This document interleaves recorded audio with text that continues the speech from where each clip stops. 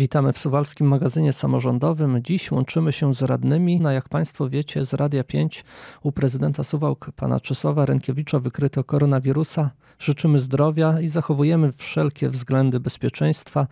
Część osób, które miały kontakt z panem prezydentem, czeka na badania.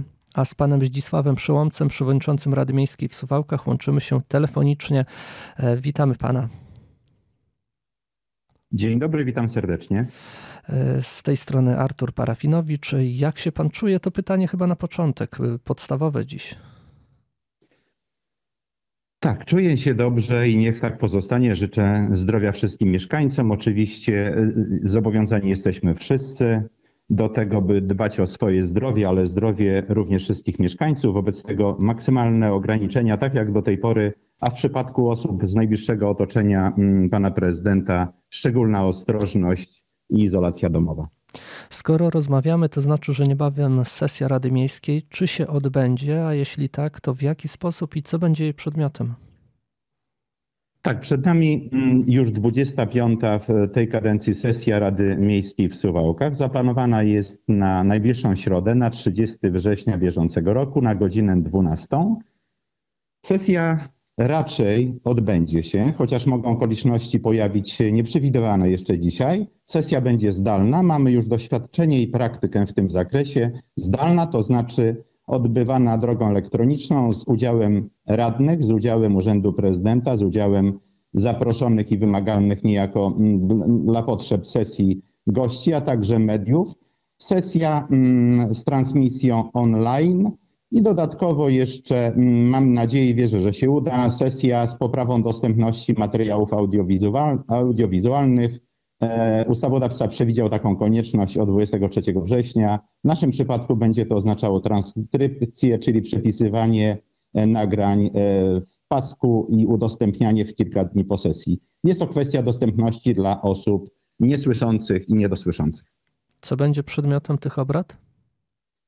Sesja, jeśli chodzi o porządek obrad, bo komisje obradowały, jesteśmy do tej sesji na dzisiaj przygotowani, dosyć obszerny, jak zawsze, tym bardziej, że po wakacyjnej mm, przerwie przewidywanych jest 30 mm, punktów w porządku obrad. Ja pozwolę sobie e, je mm, krótko omówić, na ile mi się to uda. W niektórych e, punktach głos zabiorą radni zaproszeni, do tej audycji. E, mam na myśli tutaj e, radnych Kamila e, Klimka i radnego Tadeusza Czerwieckiego. Wobec tego w tych kwestiach zabierać głosu nie będę. Jeden z punktów przewidywanych w porządku obrad będzie dotyczył przedłożenia informacji dotyczącej zapotrzebowania na zatrudnienie skazanych w najbliższym roku, zatrudnienia w jednostkach, które miastu podlegają. Chcę powiedzieć, że stosowną korespondencję w tym zakresie przedstawiła prezes Sądu Rejonowego w Suwałkach z oczekiwaniem przedstawienia wykazu podmiotów, które są w obrębie właściwości naszego miasta w celu przyjęcia skazanych, e, w celu wykonywania nieodpłatnej, kontrolowanej pracy na cele społeczne oraz pracy społecznie użytecznej w zamian za nieściągalność grzywny.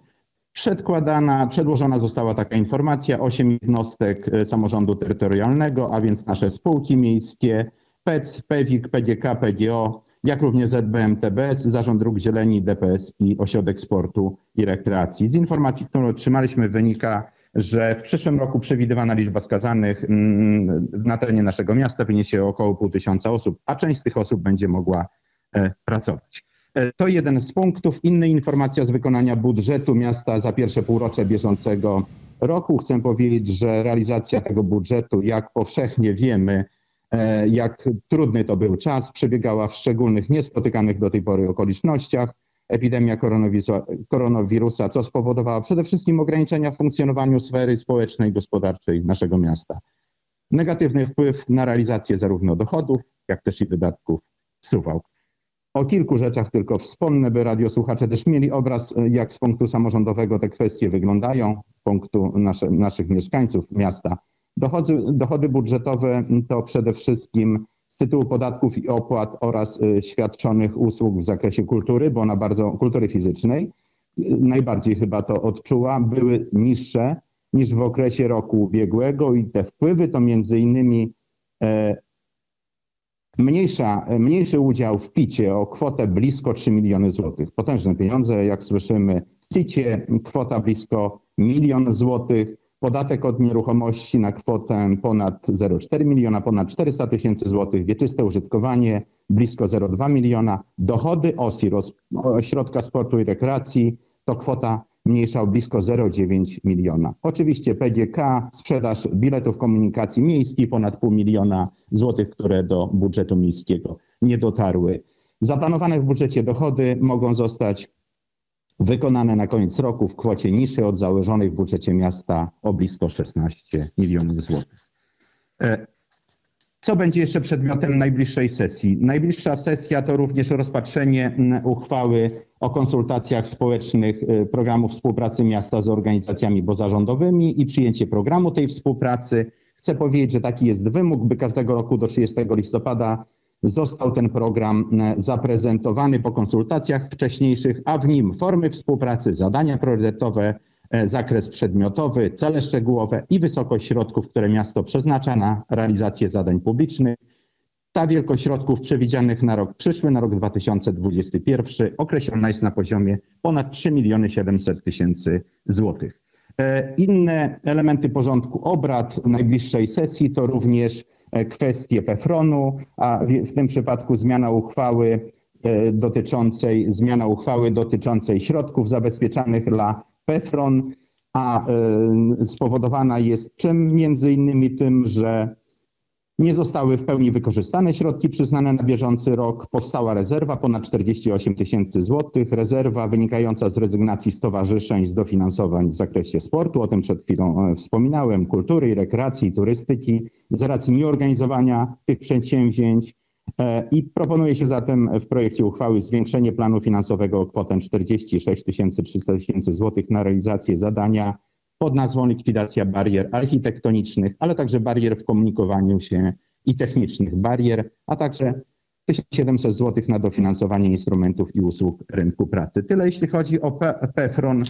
Kolejne zagadnienia, które będą podejmowane to kwestia pomników przyrody. Ten temat ostatnio bardzo szeroko omawiany w mieście. W przypadku tej uchwały dwie obok siebie będą podejmowane. Jedna dotycząca ustanowienia pomników przyrody, w innym przypadku dotycząca pozbawienia statusu przyrody. Zacznę od tej smutniejszej, a więc pozbawienie statusu pomnika przyrody będzie dotyczyło e, drzewa rosnącego przy e, ulicy Bakałażewskiej, wierzby przy moście, która niestety, ale stan nie pozwala na dalsze jej funkcjonowanie z uwagi przede wszystkim nade wszystko na bezpieczeństwo. Ale z dobrych rzeczy to przyjęcie przyjęcie i objęcie ochroną 12 e, drzew o wysokiej wartości krajobrazowej, przyrodniczej, dobrej przede wszystkim kondycji też, które zostaną włączone do grupy e, naszych pomników przyrody. Przypomnę tylko, że te procesy, to starzenie się, pogarszanie się stanu zdrowotnego, gwałtowne zjawiska atmosferyczne powodują, że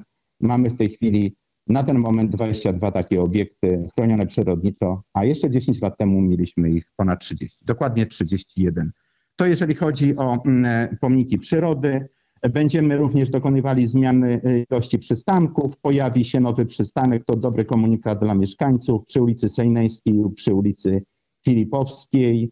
E, chcę powiedzieć, przepraszam, proszę mi pozwolić sprostować. Będzie tworzony nowy przystanek przy ulicy Stulecia Niepodległości w momencie jej otwarcia a jeśli chodzi o mm, przystanki przy ulicy Sejneńskiej i Filipowskiej, mamy e, jako odpowiedź decyzja samorządu o dopuszczeniu zatrzymywania się tam przewoźników regionalnych i dalekobieżnych. Chodzi o wniosek PKS Nowa, który się zwrócił do nas z takim oczekiwaniem. To jeśli chodzi o przystanki, tyle. Mm, kolejna uchwała z tych, które e, pozwolę sobie najkrócej, jak to jest możliwe, omówić, to zawarcie porozumienia międzygminnego dotyczącego współdziałania miasta Suwałk i gminy Suwałki. W tym przypadku mówimy o mm, aktach prawa miejscowego w obszarze aglomeracji. Aglomeracja e, obejmująca miasto Suwałki to obszar administracyjny miasta, ale także obszar gminy Suwałki, wsie Cimochowizna, Krzywe, Leszczewek, Leszczewo, Mała Huta, Stary Polwar, Tartak i Zielone Kamedulskie. Chodzi tu o politykę o infrastrukturę wodno-ściekową, a więc system odbioru ścieków i odpadów, by poprawić, by poprawić tą sytuację w całej sieci, a cel, zamierzeniem jest inwestowanie i pozyskiwanie środków na ten cel ze środków zewnętrznych z udziałem gminy Suwałki, z którą to porozumienie zostało wcześniej uzgodnione. Miejmy nadzieję, że radni tą uchwałę przyjmą. Chcę jeszcze powiedzieć o kwestii dotyczącej wyrażenia zgody na porozumienie w sprawie wykonywania zadania w zakresie gospodarowania odpadami komunalnymi. W tym przypadku porozumienie będzie dotyczyło, w tym przypadku e, porozumienie będzie dotyczyło modernizacji zakładu, jak również doinwestowania ze środków zewnętrznych, rozbudowa m.in. punktu selektywnej zbiórki, budowa instalacji oczyszczania, budowa składowiska odpadów, I dzięki temu porozumieniu przede wszystkim e, będzie zapewnienie stabilnej ilości odpadów komunalnych zagospodarowanych przez PGO w Suwałkach. E, inne kwestie bardzo istotne, ale ja spoglądam na zegarek, pewnie panie redaktorze czas wyczerpuje. Powiem, że jeszcze będzie oznaka rozpoznawcza Wojskowej Komendy Uzupełnień, która zwróciła się do nas z prośbą o udostępnienie herbu miasta Suwałk przez WKU w Suwałkach i taki projekt został przez klub PiS przedstawiony. Miejmy nadzieję, że Rada Miejska e, go przyjmie. Jest to też istotny element promocyjny miasta. I zmiany w budżecie i wieloletniej prognozie na zakończenie to związane ze wpływami z tytułu opłat, kosztów e, sądowych, ale też środków na realizację środków współfinansowanych z Unii Europejskiej na budowę ulic oraz Funduszu Samorządowego Dróg Samorządowych. To o planie dochodów po stronie planu dochodów, po stronie wydatków, głównie związane z zakresu lokalnego transportu, remontem ulic w mieście, między innymi utraty, między innymi ulicy księdza Stanisława Szczęsnowicza, sprawy oświatowe i szkoła podstawowa numer 4 i zakup środków finansowych i wzrost wynagrodzeń dla nauczycieli, a jeśli chodzi o kwestie dotyczące sfery kulturalnej, to z pewnością przesunięcie środków na SOK w zakresie Galerii Stara Łaźnia, Galerii Sztuki oraz Muzeum Okręgowego na wydanie Suwalskiego Słownika Biograficznego. Staram się bardzo spieszyć, żeby omówić te kwestie. O pozostałych istotnych elementach opowiedzą z pewnością radiosłuchaczom e, obecni w dzisiejszej audycji radni. Dziękuję. Pan Zdzisław Przełomiec, przewodniczący Rady Miejskiej e, w Suwałkach. I na Łączach pan Kamil Klimek, radny klubu Łączą Nas Suwałki, przewodniczący Komisji Skarg, Wniosków i Petycji. Witam pana. Dzień dobry panie redaktorze, witam wszystkich radiosłuchaczy i oczywiście kolegów radnych, z którymi niestety dzisiaj nie spotkaliśmy się e, w realu, a rozmawiamy sobie tutaj właśnie w eterze na antenie Radia 5. Tak, tak jak wyjaśnialiśmy, pandemia, jej obostrzenia rządzi się swoimi prawami. E, po no, tej oczywiście. stronie, tak, nadal Artur Parafinowicz i pytania, y, skoro przewodniczący Komisji Skarg, Wniosków i Petycji, to będzie o petycjach oczywiście. E, co z petycją w sprawie 5G? Panie redaktorze, szanowni państwo, o tej sprawie e, było dosyć głośno w ostatnich kilku miesiącach. Przypomnę, 27 kwietnia do Urzędu Miejskiego wpłynęła e, kolejna petycja, przypomnę, druga petycja, e, tym razem złożona przez mieszkańca naszego miasta w sprawie ochrony zdrowia i życia mieszkańców. Poprzednia złożona przez grupę osób, tak zwaną koalicję przeciwko 5G, niestety z przyczyn formalnych, których nie dało się usunąć w świetle ustawy o petycjach, musieliśmy odrzucić. Ten Natomiast e, petycja, która została złożona przez mieszkańców naszego miasta, e, trafiła na posiedzenie naszej komisji. 19 e, czerwca, 17 września rozmawialiśmy na ten temat. Niezwykle kluczowe było tutaj spotkanie, które odbyło się z inicjatywy pana Zdzisława Przełomca, przewodniczącego Rady Miejskiej. Ono się odbyło 3 września z udziałem przedstawicieli Ministerstwa Cyfryzacji, Państwowego Instytutu Badawczego, Instytutu Łączności mogliśmy naprawdę y, otrzymać rzetelną wiedzę na temat tego, czym jest y, sieć piątej generacji, ale też y, po raz kolejny mogliśmy zapoznać się e, z obawami naszych mieszkańców, którzy, którzy popierali tę, tę petycję. Spotkaliśmy się również z nimi 19 czerwca. No i cóż, e, Komisja Skarg Wniosków i Petycji e, pragnie podkreślić, że w chwili obecnej w świetle prezentowanych materiałów, które posiadają status oficjalnych stanowisk instytucji, agent rządowych, e, organizacji międzynarodowych, Sieć 5G w chwili obecnej nie stanowi żadnego zagrożenia dla zdrowia i życia ludzkiego. Pragnę też zwrócić tutaj uwagę na publikację Światowej Organizacji Zdrowia, która na tym etapie nie przewiduje negatywnych konsekwencji dla zdrowia publicznego, ale jednocześnie przyznaje, że niewiele przeprowadzono badań w zakresie e, częstotliwości wykorzystywanych e, w nowo rozwijanych sieciach 5G. Dlatego też e, Światowa Organizacja Zdrowia dokona przeglądu dowodów naukowych i przeprowadzi ocenę ryzyka dla zdrowia, która mm, zostanie opublikowana. No, tutaj WHO wyznaczyło taki horyzont czasowy e, na rok 2022. Myślę, że wtedy, wtedy jeżeli będzie taka potrzeba, to do tego tematu będziemy wracać. Natomiast e, chciałbym zwrócić jeszcze uwagę na, na kilka kwestii. Przede wszystkim komisja podzieliła opinię Ministerstwa Cyfryzacji, które e, w odpowiedzi udzielonej Radzie Miejskiej w Suwałkach wskazało, iż no, w kierowanych do polskich samorządów petycjach przeciwników sieci 5G prezentowane informacje wpisują się niekiedy w działania dezinformacyjne, które mają na celu wywołać e, strach przed informatyzacją i rozwojem cyfrowym społeczeństwa. Niejako w opozycji do niepotwierdzonych naukowo zarzutów o, o szkodliwości sieci 5G Ministerstwo Cyfryzacji podkreśliło, że sieci telefonii komórkowej e, no to, to nie jedyne źródła, które powszechnie występują w naszym otoczeniu. Najpotężniejszym takim źródłem promieniowania elektromagnetycznego jest Słońce, ale również do tej grupy należą linie energetyczne, e, wszelkie urządzenia elektryczne, e, łącznie ze sprzętem AGD i RTV. Oczywiście biorąc pod uwagę dynamiczny rozwój cywilizacyjny, w tym rozwój sieci telefonii komórkowej, no i związanej z nią rozbudową infrastruktury technicznej, czyli tutaj mówimy o tych stacjach bazowych telefonii komórkowych, zrozumiałym jest zaniepokojenie mieszkańców. To nie ulega wątpliwości.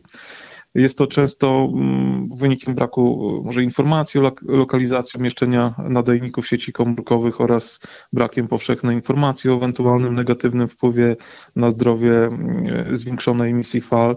E, co prawda on nie nakłada na organ wydający decyzje w zakresie pozwolenia na budowę takich masztów, informowania mieszkańców gminy e, o zamiarze wydania takiej decyzji. Niemniej e, w naszej ocenie pożądane jest, aby w dobie trwającej dyskusji wokół sieci 5G samorząd informował w dostępnych kanałach komunikacji o, o planowanej inwestycji. No, jednocześnie y, uznaliśmy jako Komisja Skarg Wniosków i Petycji za dobrą praktykę w zakresie monitorowania jakości życia mieszkańców, a w szczególności ochrony ich zdrowia, korzystanie z uprawnień inicjowania takiej kontroli przestrzegania przez y, operatorów stacji bazowych telefonii komórkowych norm promieniowania pól elektromagnetycznych, kierując do Wojewódzkiego Inspektora Ochrony Środowiska wniosku o przeprowadzenie takiej kontroli. A tutaj chciałbym y, y, o jednej rzeczy powiedzieć, a mianowicie na etapie E, analizy tej petycji e, pozwoliłem sobie zwrócić się do, w trybie dostępu do informacji publicznej do Wojewódzkiego Inspektora Ochrony Środowiska w Białymstoku e, w zakresie uzyskania informacji co do, co do kontroli przeprowadzonych i, i okazało się, że takie kontrole w ostatnich dwóch latach na terenie Suwałk były przeprowadzane, między innymi przy ulicy Bakałażewskiej te, te, badania tutaj e, szczególnie kieruje się do, do wszystkich mieszkańców, którzy są zaniepokojeni siecią 5G. Nie, pod, nie potwierdziło przekroczenia tych norm e, promieniowania elektromagnetycznego, e, a w najbliższym czasie w planie kontroli Wojewódzkiego Inspektora Ochrony Środowiskiej znalazła się również stacja bazowa telefonii komórkowej, która znajduje się przy ulicy Szpitalnej. Szanowni Państwo, Panie Redaktorze, to już tak na koniec. Ja wiem, że tego czasu mam e, bardzo niewiele. Puenta, to co Komisja Skarg Wniosków e, i Petycji ustaliła, jakie stanowisko wypracowała w chwili obecnej, no to e, Jesteśmy jakby jednomyślni co do tego, że na tym etapie e, będziemy rekomendować Radzie Miejskiej w Suwałkach, aby takiej, te, tej petycji nie uwzględniła. Jednocześnie e, wskazałam na te dwa bardzo kluczowe elementy, czyli inicjowanie przez prezydenta miasta kontroli e, przez Wojewódzki Inspektor, Inspektor Ochrony Środowiska oraz oczywiście publikowanie wszelkich informacji na stronie, e, w dostępnych kanałach informacyjnych Urzędu Miejskiego. Zapewne o drugiej petycji nie będę już miał możliwości jednym powiedzieć. Zdaniem, jednym zdaniem, panie radny, panie przewodniczący. Panie redaktorze, szanowni państwo, Petycja dotycząca likwidacji sołectwa Dubowo wpłynęła na początku roku. Trwały mm, konsultacje społeczne. No niestety nie spotkały się zbyt dużym zainteresowaniem. Zaledwo, zaledwie 303 mieszkańców wzięło udział. No, mając na uwadze niewielką liczbę mieszkańców naszego miasta, e, która brała udział w tych e, konsultacjach, no nie można jednoznacznie zinterpretować woli mieszkańców co do dalszego funkcjonowania sołectw. Tutaj pragnę także zauważyć, że e, obecny, obecna ostatnim posiedzeniu e, sołtys sołectwa Dubowo wskazał, że ze względu na peryferyjne położenie tego sołectwa, jego funkcjonowania pełni, między innymi integruje społecznie mieszkańców Dubowa. E, przyjęliśmy te argumenty, e, biorąc pod uwagę wynik konsultacji, rekomendu będziemy rekomendować Radzie Miejskiej, żeby tej petycji o likwidacji sołectwa nie uwzględniać. Dziękuję i przepraszam za przekroczenie tego czasu. Dziękuję pan Kamil Klimek, radny klubu Łączą Nas Suwałki, przewodniczący Komisji Skarg, Wniosków i Petycji. My do audycji samorządowej jeszcze wrócimy. Połączymy się z panem Tadeuszem Czerwieckim, radnym klubu PiS przewodniczącym Komisji Strategii Rozwoju Gospodarczego. Pan Tadeusz Czerwiecki, radny klubu Prawa i Sprawiedliwości, przewodniczący Komisji Strategii Rozwoju Gospodarczego Rady Miejskiej w Suwałkach na łączach z nami. Dzień dobry panu. Dzień dobry panu, dzień dobry państwu.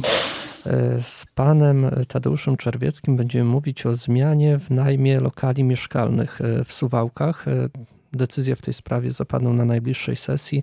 Jakie zmiany czekają najemców? To znaczy nie do końca to jest tak.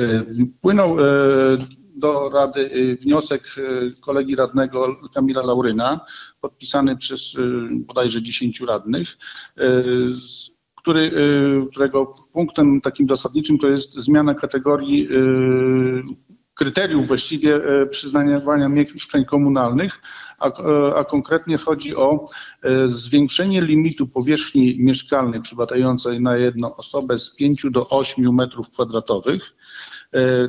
Tak, ten wniosek był rozpatrywany na Komisji Strategii i trakcie dyskusji e, zebrani uznali, że e, trzeba się nad tym pochylić, natomiast e, trzeba to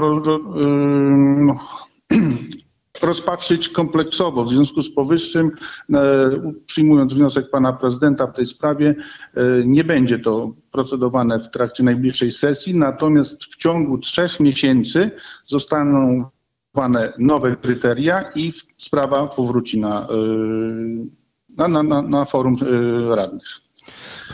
Kolejna kwestia to zmiany w kategorii dróg. No to zapewne w programie sesji zostanie. Tak, to zostanie. Y, sprawa kategorii dróg to jest no, przede wszystkim y, uporządkowanie administracyjne. To nie ma żadnego wpływu na życie bieżące naszych mieszkańców, a także to jest związane z, z tym, z tym, że droga biegnąca od miejscowości Kąp, to jest w pobliżu Giżycka, do, poprzez Wydminy, Olecko, Raczki, Suwałki, Dorutki, Tartak e, będzie miała nowy przebieg. W związku z powyższym, e, to droga wojewódzka, w związku z powyższym należy zmienić kategorię niektórych ulic w Suwałkach z, powiat, e, z gminnych na powiatowe, a niektóre pozbawić tej funkcji na, z kolei na gminne. Czyli to jest właściwie no, taka sprawa administracyjna. I jeszcze zmiany w planach zagospodarowania przestrzennego terenu. Tak, tak. Sprawy zagospodarowania przestrzennego to dotyczy e, po pierwsze e, okolic ulicy Piaskowej, e, ponieważ PEC ma tam możliwość zagospodarowania terenu w celu składowania odpadów popaleniskowych, czyli potocznie mówiąc żużla, a w przyszłości to po wyrównaniu tego terenu będzie to użytkowane jako składowisko dla biomasy, ponieważ PEC będzie e, część, część energii pozyskiwał właśnie ze spalania biomasy i potrzebny jest na to duży plac składowy. Będzie także rozpatrywany plac, e, no, przepraszam, plan zagospodarowania przestrzennego na wniosek właściciela hotelu Hańcza w okolicy Zalewu Arkadia, ponieważ e, właściciel chce zmienić funkcję budynku z hotelowej na mieszkalną. W związku z powyższym potrzebna jest aktualizacja tego planu, aby spełnia, ta, ta funkcja spełniała wymogi przestrzenne. Przede wszystkim chodzi tutaj o miejsca parkingowe. Dalej mm, na, były rozpatrywane już wcześniej, na, na, wcześniejszej sesji plan zagospodarowania przestrzennego okolic ulicy Bakałarzewskiej Grunwaldki. Chodzi konkretnie o ten teren y, zajmowany przez targowisko miejskie. Y, wojewoda odrzucił tamten plan wnioskując o uzupełnienie go o e, określenie minimalnej liczby miejsc parkingowych, e, a także uwzględnienia e, parkingów dla pojazdów z kartą parkingową oraz określenie strefy sanitarnej od strony cmentarza. Chciałbym jeszcze tylko uzupełnić wypowiedź pana przewodniczącego odnośnie mm, tych porozumień między, między Suwałkami a gminą Suwałki. E, pierwsze porozumienie odnośnie granic aglomeracji to jest wynika z przepisów unijnych, konkretnie z dyrektywy, która musi być i dlatego te granice te muszą być aktualizowane co dwa lata. A drugi wniosek, myślę, że to będzie tego drugie porozumienie międzygminne, pozwoli na wystartowanie do przetargu na odbiór odpadów komunalnych z terenu gminy Suwałki przez nasze przedsiębiorstwo e, gospodarki komunalnej. E, także jest w planie e, naszej sesji rozpatrzenie wniosku do sprzedaży sześciu działek.